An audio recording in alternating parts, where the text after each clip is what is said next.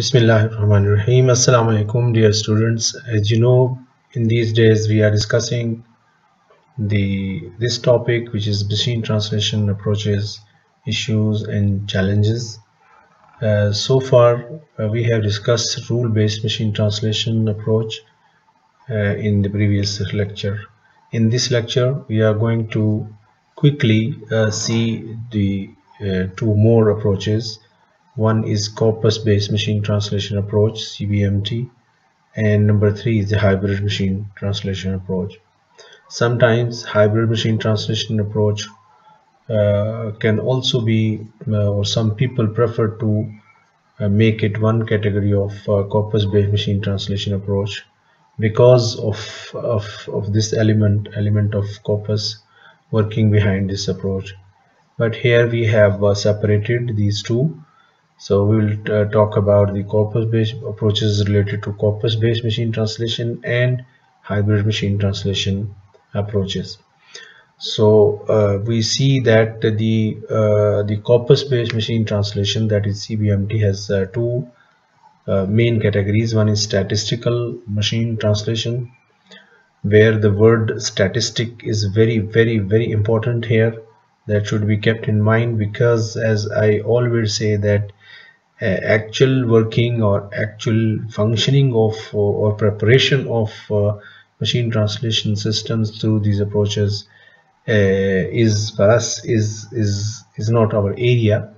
But we can uh, we can get some orientation and very good orientation I must say uh, through some different uh, techniques. So keep eye on the word statistic here in the first one and in the second example based machine translation which is EBMT with this uh, with these two key words uh, we can uh, move on and see that the first you know corpus based machine translation the concept of corpus based machine translation as the word corpus indicates uh, is that there is a lot of data.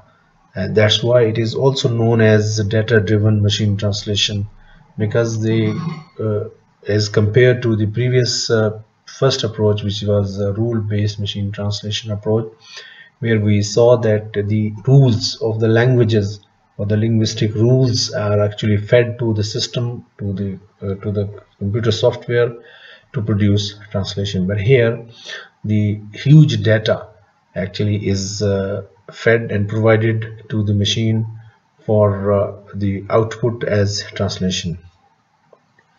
So corpus based machine translation uses bilingual parallel corpus to obtain knowledge for new translation where on one side uh, data related to one language and on the other side the data translated into other language are provided to the machine. This is the first general step that should be taken. So it is a large amount of raw data in the form of parallel parallel uh, corpora. So the point number one two and three they are actually complementary. So we should understand these uh, points uh, together better to understand them together. So huge raw data is uh, acquired or prepared and it is provided to machine for the next step. The raw data contains text and their translations of course. There is an example corpus of English on one side and corpus of Arabic on the other side if we want to uh, translate between these two languages. So matching the translations through various ways. So uh, we will see this last point is very important because this is relevant to uh, the both the categories that we have uh, seen in the previous uh, slide that is statistical machine translation and example based machine translation because matching the translation through various ways. So only difference between statistical machine translation and example based machine translation is this one that the technique of matching uh, techniques are different in these two different categories okay statistical machine translation is the analysis of bilingual text corpora as we have seen that the the common uh, feature of both these uh, uh, you know categories statistical and example based machine translation approaches uh, the the there is a bilingual uh, corpora behind uh, the you know fed into machine but the the next step is using probability theory where uh, the machine or the brain of the machine uh, try to assess or try to find what you know one sentence on one side let's say Arabic is there's an Arabic sentence on one side on one corpora and there is English sentence which is translation uh, on the other side so what uh, is the probability of occurring the translation of this Arabic sentence into English. So there this statistical tool is uh, you know applied prepared first and then applied uh, for the processing of uh, the most suitable uh, translation among the available data in these two corpora so every sentence in one language is a possible translation of any sentence in the other. So the the the, the foundation is this one uh, the assumption is this one that the you know every sentence in in arabic is is a possible translation of of uh, any sentence in in english in the example that we are uh, carrying with us in this exam uh, in this uh, instance so as i said earlier on we, we can say that there are two major steps. One is collecting gathering the parallel uh, data and providing it to the machine. This is number one major step. And number two uh, is the is the applying the probability theory or pro providing the probability theory to the machine and training the machine for effective processing and producing better or suitable translation. Uh, there are some issues associated to statistical machine translation and frankly speaking some of them of course are very much related to statistical machine translation but some others they are general they are not specific to to statistical machine translation only so real world probability may may affect the translation this is very much specific uh, to statistical machine translation if uh, a word Berlin is used in a sentence uh, where of course uh, we are talking about a train so uh, you know the the what is the probability of this translation is Paris because uh, uh, as for the data is concerned actual data which is provided or prepared data which is of course which also is based on the act taken or driven Uh, extracted from uh, some databases or some other sources uh, where the prob most probably the word Paris because uh, in Europe uh, most of the trains they head towards Paris and there are a lot of routes that take you know their their journey from Paris toward other cities. So Paris becomes a hub for the journey through train so the the machine or brain of the machine would of course according to this uh, uh, the the applica application of uh, probability theory the brain would select Paris instead of Berlin because the the the the selection is based on the on the probability uh, theory or the techniques. The second example could be in the Islamic studies if this word and if it is used in if it is translated it is to be translated into English. So nowadays the data that is the language data that is produced in English about Islam and Islamic studies you know is is the most uh, uh, you know occurring phrase is Islamophobia instead of Islamic studies. So this could be the that the real world probability may affect the translation. So instead of uh, translating Islamic studies into Islamic studies into English for example it would give us the Islamophobia because this is this is, this is occurring you know most of the time in the literature or in the data that have been collected gathered and fed to the machine. Translation of idioms as I said earlier this is not specific to statistical machine translation.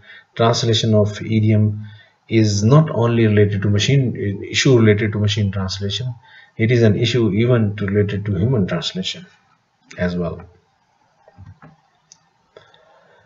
uh, word order in various languages can hamper the quality of translation. Another problem which is related to not only statistical machine translation it is the corpus based machine translation. In general is the is the creation of a corpora can be very costly. Uh, dear student i here i would like to remind you of uh, of what we have discussed earlier in rule based machine translation where the uh, preparation of rule update updating rules or correcting rules uh, you know or going into the details of the linguistic rules is very much time taking and costly. Here the collection of uh, data or preparation of the corpora uh, these are two major things that can be costly. Statistical machine translation does not work well between languages that have different word orders. So point number one and three should be understood uh, you know with the help of each other. So the here of course the if we are translating from one European language into Arabic and vice versa uh, the, the, the the statistical machine translations uh, the data itself and also the training the machine would uh, uh, would be a difficult task example based machine translation of course the the most similar uh, element between this and the previous statistical machine translation is it is this is also based on bilingual corpus with parallel text as we have seen uh, during the previous slides. So there are four tasks example acquisition uh, example base and management example application and synthesis. Uh, here the key word is uh, uh, you know is analogy I mean what is uh, what can be a good example of uh, this which sentence starts with uh, these words and and the ending of that? Let's take a quick example here. The example of bilingual corpora on, on my right side is Arabic. On my left side is this. One how much is that? If we take the left side is the original text and we are translating into into Arabic. So how much is that and how much is that in both the corpora in both the sentences? So we find red shoes and small ca camera. If it is translated the first one is with this example red shoes or small camera. The machine brain is trained to understand this example and then follow the translation in other sentences so if it is translated through machine supposedly through machine brain so it would be like this ما ثمن أو كم يكلف ذلك الحذاء الأحمر وما ثمن وكم يكلف تلك الكاميرا الصغيرة there are you know uh, challenges associated with example based machine translation uh, requires analysis and generation of modules to produce the dependency trees needed for examples databases and for analyzing the sentence. Uh, to uh, to give a quick explanation of uh, these three lines I will go back to the example here. So if we want to uh, prepare a tree as we have seen here dependency tree here because examples are uh, you know are put together in such case in this very small example how much is that? So we need to prepare a dependency tree under this what words can come after that as an example or analogy uh, to complete the sentence. So the the depend preparation or produce the dependency tree needed. For example database for analyzing sentence is is, is is need you know generation of uh, analysis and generation is time taking and costly. Another problem with EBMT is uh, you know required computational efficiency especially for large databases you see uh, I would not say that uh, from this aspect it, it is uh, it is not similar but we can understand the analogy of RBMT where we were talking about the linguistic rules but here we are talking about uh, in a way also the linguistic examples. So uh, the, the, preparation of these examples and putting them into dependency trees and you know tagging these certain phrases to the these trees and so on and so forth is, is a is a is a a time taking and also it needs computational efficiency for this purpose.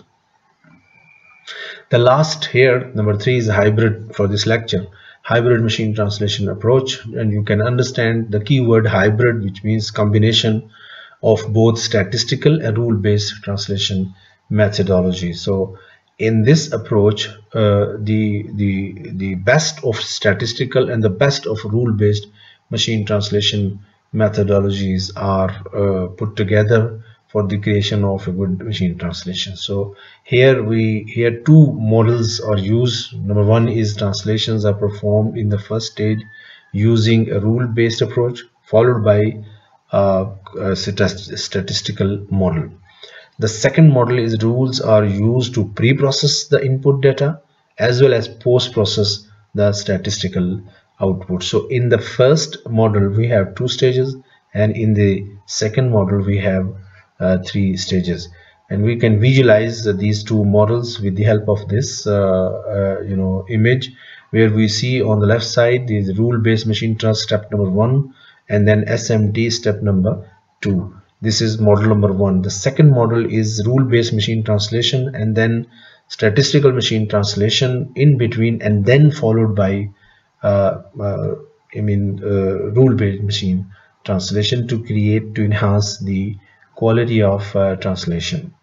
So of course if we want to talk about the issues related to hybrid machine translation approach we can talk about the the, the time uh, required for because the combination of although I said the best but the best of course in in in performance but not best in in preparation uh, because the rules are always preparation of the rules are always very much uh, uh, time taking and costly. And SMT you know uh, uh, then creating a kind of synergy between these two approaches another aspect which requires a special kind of computational expertise and if we go to the second model which is uh, of course uh, on one on on first step and the third step where RBMT and in between SMT. The, the previous uh, two you know issues are also associated or maybe more intensely associated